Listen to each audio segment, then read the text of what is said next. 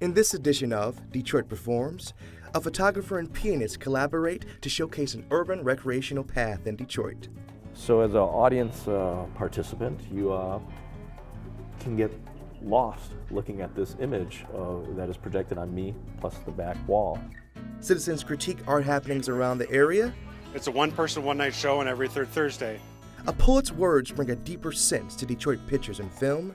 From streetcars and urban sprawl to assembly lines and ballroom halls. A compelling exhibition shows the human side of war. War is an entity uh, on its own, and photography is an entity on its own, and this exhibition is about the coming together of both. And a photographer on a mission to document the American frontier. I treated this in a lot of ways just like it could have been shot, you know, 100 years ago. It's all ahead in this edition of Detroit Performs. Major funding for Detroit Performs is provided by the McGregor Fund. Additional funding is provided by the Michigan Council for Arts and Cultural Affairs and the National Endowment for the Arts, and by contributions to your PBS station from viewers like you. Thank you.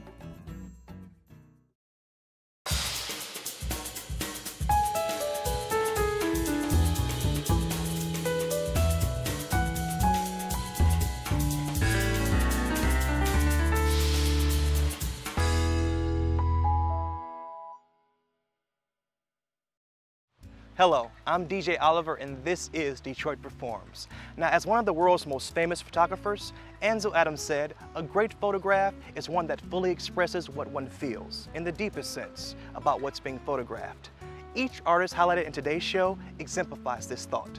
Now, we are here at Detroit Dequindre Cut Greenway, the inspiration for photographer and filmmaker Michelle Andonian and musician and composer Luis Resto's film, The Cut, which tells the story of the past's constant changes while holding on to its past. We're here in downtown Detroit on an abandoned train line which runs right through the middle of the city. Uh, starts at the riverfront and from the riverfront up till Gratiot right now it's a bike path called the Dequindre Cut. This area will be joining the Dequindre Cut over the next year and a half. Um, so this is really a piece of Detroit that has gone back to what it was like over a century ago.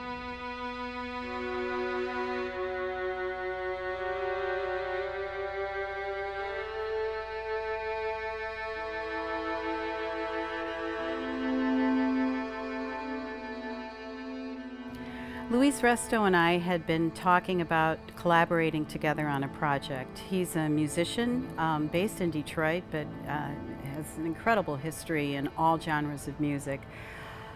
He um, used to, he was inspired by his grandmother, who used to play piano for silent movies.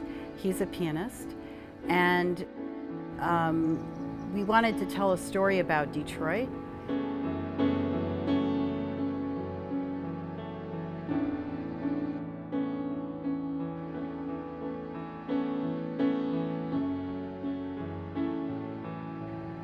When I first looked down on the Dequindre Cut and knew that it was going to be renovated into a bike path, I wanted to be able to photograph the changes and capture them because that's what I love about photography, it's is its ability to hold on to the past.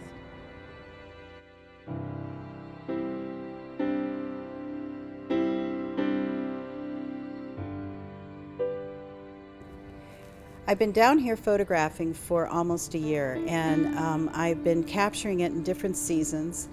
Uh, it's just really interesting to see how the landscape evolves and changes along with the graffiti. It's just really inspiring.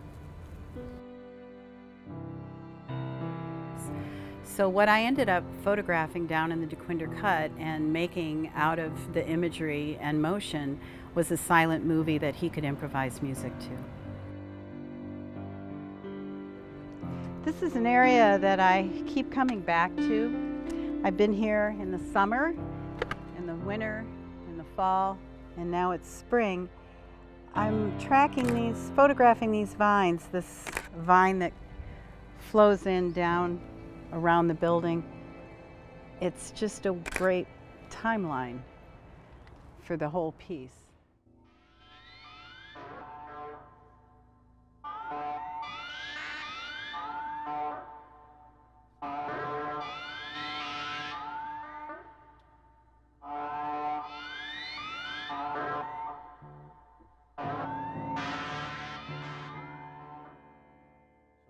The cut, uh, when you walk into the performance space, you're looking at a setup of an acoustic piano um, with various electronics on top of it and uh, white perf, perf boards on it, right? Yeah, foam core. Foam core. So and it's foreground, background. I come in and sort of get into a cockpit and lights go down and these images of the Dequindre cut are projected on not only a scrim behind me and the, uh, what is it called? Foreground. Uh, the foreground, but on me as well because I'm in a white shirt. Uh, last performance was with a white jacket. So as an audience uh, participant, you uh, can get lost looking at this image uh, that is projected on me plus the back wall, and sometimes I disappear.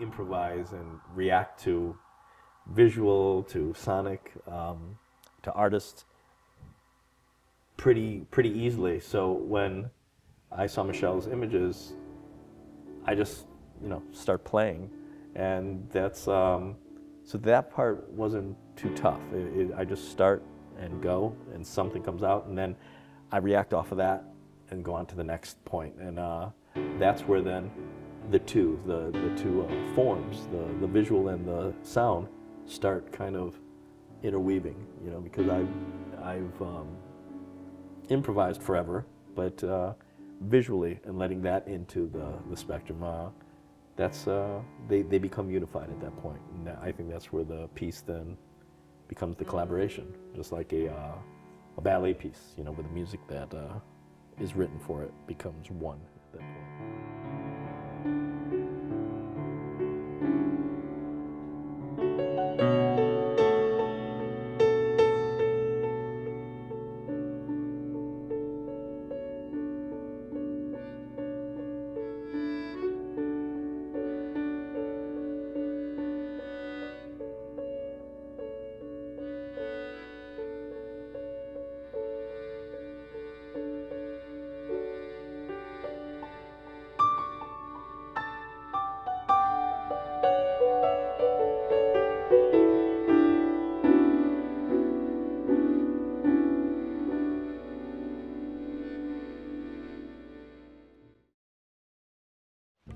Luis Resto also has one of the most memorable piano lines, as well as co-wrote the biggest hit to come out of Detroit in years, the Grammy and Oscar-nominated song, Lose Yourself by Eminem. One of my favorites, y'all. To learn more about Luis and Michelle, visit michelleandonian.com and luisresto.com. Now, each week, Detroit Perform highlights the works of a mobile arts journalism team, Critic Car Detroit.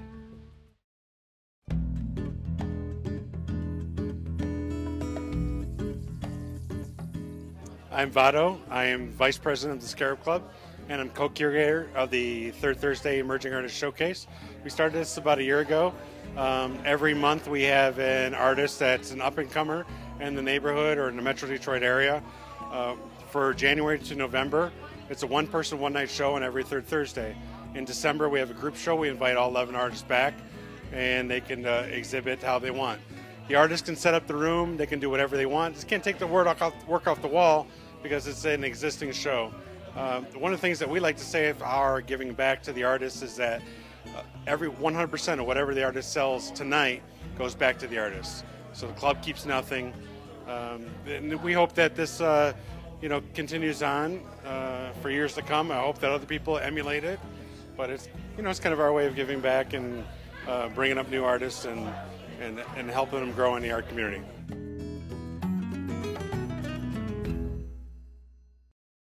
You can view more of Critic Car Detroit's reviews on their Facebook page and YouTube channel. And now, here's a look at some of the arts events happening this week in our community.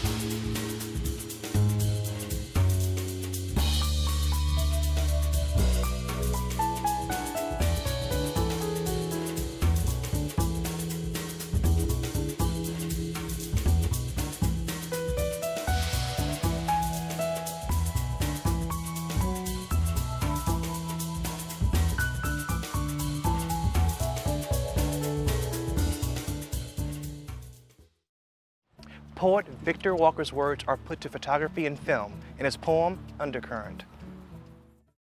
Our darkest moment exits when the sun kisses the river. A current pushes against the shore, ebbs and flows, waning and weak, a metaphor for people held captive by history, burned by misery, flowing sweetly. From streetcars and urban sprawl, assembly lines and ballroom halls, through closed mines and open roads, smoky lounges, abandoned homes, spines arched like monuments to a crippling struggle. We have endured, but ask if this is where old movements go to die. They rest in shadows or howl like banshees, deep lingering moans, cemented in nostalgic rifts captured in our souls. Unworthy martyrs tied to unsavory legacies remind us that freedom is not free. We salvage from wreckage an identity that quite possibly never was. Illusions plastered upon marquees too bright for our eyes. Our brothers walk Monroe Block, looking for new ways to capture old dreams, find nothing more than gutted remnants of what used to be. We remember how our sisters danced in vanity, while we reduced their bodies to silhouettes, heard them chant to stay alive as our cities were occupied, held signs announcing rebirth, but this renaissance numbed us, froze us with missed opportunity. Landscapes of urban myths contradict stories living in the bones of our brazen. Dignity held ransom by politicians separating us from salvation.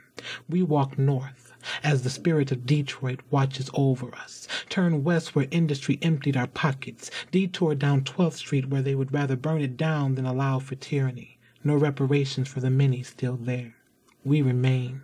Communities driven by nothing more than hope. There should be more places for hope places to plant promise and grow change where people of various hues refuse to plaster the news with stories of how we sacrifice one another. We must learn to trust each other push back against the current flowing under us, stand proud in the wake of what we have made, ask ourselves if we can remain diligent as our darkest moment finally exits.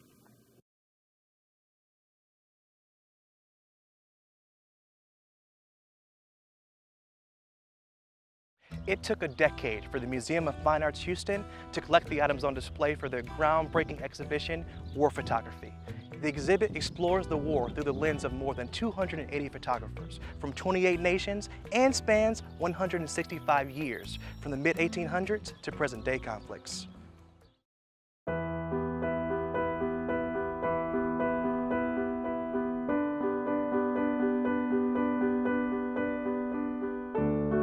The exhibition War Photography has a slash between war and photography because we began with the premise that war is an entity uh, on its own and photography is an entity on its own and this exhibition is about the coming together of both. From the beginning we wanted only the strongest photographs we could find. Those that live on past the historical moment.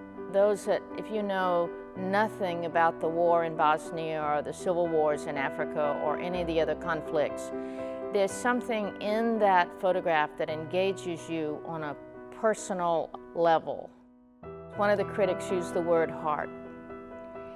And that's an odd word to use in an art review. But I'm glad because we felt sympathy for the men and women who were fighting. We felt sympathy for the civilians who were caught in the crossfire. And we tried to organize the exhibition in such a way that there's a balance between the really tough sections and sections where the soldiers are having fun. You know, they're wrestling with each other and they're playing cards. We have people playing cards from the 19th century right up to the Iraq War. We wanted to show that everybody's human, that they have these complex personalities.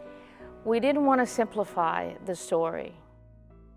During the, the kind of breakup of the Soviet Union, there was a republic in the south of Russia called Chechnya, a very tiny place. It's probably not bigger than the size of Connecticut. This place historically had a, a problem with Russia, never really wanting to be a part of Russia. So it became a huge outbreak of war. And I really wanted to show just the experience of, you know, all these, these kids basically being sent down.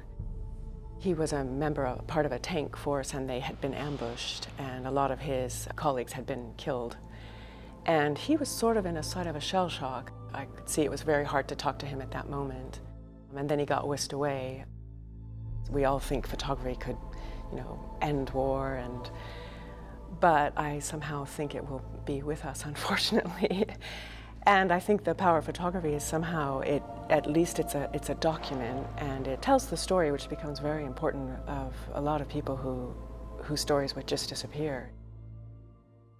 I have a son who would have been a, of draft age, and I thought if he went to war, how would he recover from that? And so, as a portrait photographer, I was interested in meeting um, men and women who volunteer for service. I photographed everybody standing in sort of head and shoulders uh, portrait. And then I asked everybody to put their head on the table, and I've made photographs like the one of Soldier Birkholz. Craig Birkholz had served two tours, a tour in Iraq and a tour in Afghanistan. He came home, he got married, went to school, became a police officer, which is what he'd always wanted to do, and then was killed at a domestic abuse call, and the shooter was another Iraq vet.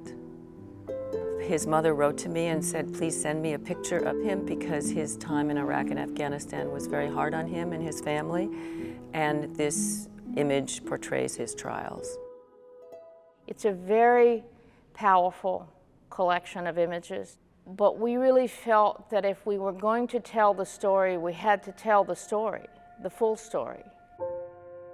This is the photograph of my class when we were 13. This picture somehow narrates the story of a generation, my generation, that was affected by a military dictatorship. Well, many of us were against the dictatorship. The victims were just kidnapped, taken from their homes, killed, tortured. In order to overcome the pain of, of these absences, uh, I had a tool, and the tool was photography. I decided to write on that picture with the fate of each one of my classmates. Martin is in the picture just beside me. He was 13 in the moment of the picture, and uh, he was uh, in 76, 22 when he was kidnapped and disappeared. There is the case of uh, Jorge. He wasn't kidnapped, but he got crazy. Claudio, who is beside him, was shot in the street. And Eric got fed up and he went to Madrid, and there he is now. Ruth is in Helsinki, Anna Murlander is in Israel. And these are the consequences of exile. These are the consequences of violence. We all have the class picture. Therefore, it's in a way a universal image. We all studied in a way or another and have this kind of image. And therefore, it is not referring only to me, to my generation, but in a way to any class that can be affected by uh, terror, by violence, by war. One of the key words for us in putting this exhibition together was respect. Respect for the veterans, for the people who served or who are serving. Respect for the photographers. My grandfather served on the docks of Morocco and Italy and South Africa, you know, dispersing the troops, getting them to where they needed to be, and uh, getting them the, the um, supplies that they needed. So he took a lot of pride in that and spoke about it every chance he got. The image is from a closet in their bedroom. It has his helmet and a walking cane and his belt from World War II. There's a universal connection to it. I think everybody's obviously lost, you know, a family member to whether it's war or just uh, lost their family member and kind of had to deal with uh, things that they've cherished and stockpiled over the years. One of the men who works here at the museum said that after seeing the exhibition, he can talk to his brother who's stationed in Afghanistan and have a better understanding of what his brother's going through. That made us feel great. We tried to be inclusive of everybody and everything that is affected in some way by all the ramifications of a conflict situation.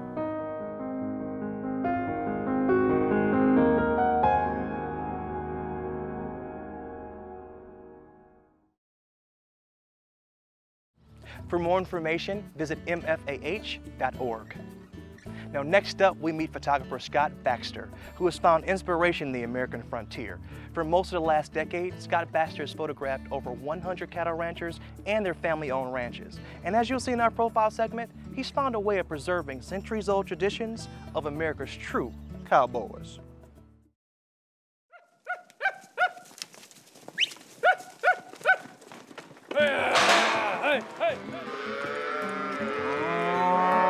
Some of these ranches that we're photographing aren't going to be around because uh, you know development's going to find it you know its way in, and and there's a lot of ranches I know that there's no one coming up behind them, so they'll most likely be sold. And I just thought, what if photographically I could at least try to record some of these families that have been around here since, you know, since 1912 or earlier. And that's, it kind of started that way. I didn't really plan to do anything with it. I just wanted to see if I could accomplish it. We call it 100 years, 100 ranchers. And basically the criteria is the family has been ranching in Arizona continuously since 1912 or earlier. My ancestors came here from Valencia, Spain in the 1840s, and they were coming to Tucson by covered wagon. This is the uh, Amado family, my great-grandfather. About 1852 is when they set up the ranch at Alamo Bonito in, in what is called Amado. This family is very historic family, goes back a long ways, and a beautiful ranch too. And one of my, uh, Santa Cruz County is probably one of my favorite places to be in the whole state. Photographs should be really easy for you to look at. You know, doesn't mean it has to be Pollyannish or, you know, beautiful or anything. It just has to be easy. And if it's easy, it's good. And then, uh, Henry, just kind of right in the middle. If I push too hard, if I really try too hard to push a photograph, it just doesn't work out for me. I kind of let the photograph come to me. There's not a set process. I want to get this side too because it's got your brand on the horse's shoulder. I have, you know, aside from scouting a little bit the day before and knowing I wanted to use that big sycamore tree, I don't, there's not a, you know, I don't have like a list of what I'm going to do. I just kind of walk in and, and it's kind of the way I've always worked. I just kind of wing it and, and uh, kind of works for me. Doesn't work for everybody, but it works for me. Perfect, guys. Okay. The last one with this camera for now, at least. I was standing there Okay, straight in. last evening by the tree with uh, between two horses and Okay, with my son and grandson on each side of me. Very proud. It just gives you an idea. It's a small shot. Now you got to kind of look at it, but you want to show that pride. I mean, they're very, as a group, they're they're very proud of, of their of their heritage. They're very proud of what they do. So that's kind of where we're at. So we're gonna we're gonna shoot a few more with this camera.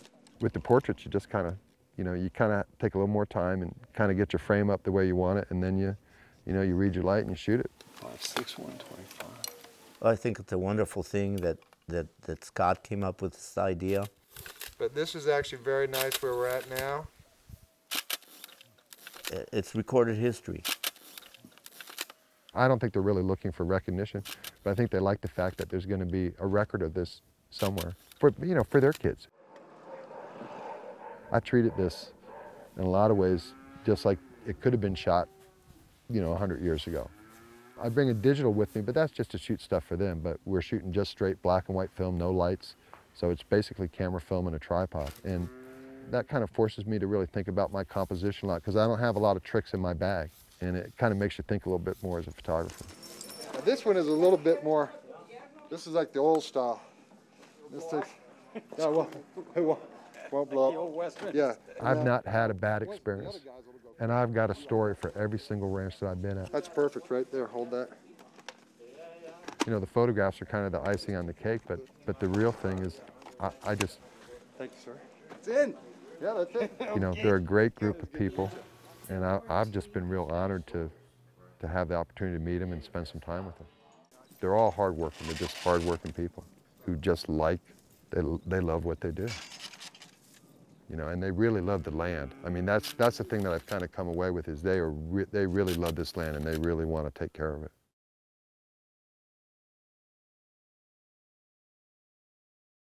Baxter has wrote a book for his 100 Years, 100 Ranchers project. To learn more, visit 100years100ranchers.com. And that wraps it up for this edition of Detroit Performs. For more information on arts and culture, you can visit DetroitPerforms.org, where you'll find featured videos, blogs, and upcoming information on arts events. Until next Tuesday, I'm DJ Oliver. Thanks for watching, guys. Major funding for Detroit Performs is provided by the McGregor Fund. Additional funding is provided by the Michigan Council for Arts and Cultural Affairs and the National Endowment for the Arts, and by contributions to your PBS station from viewers like you. Thank you.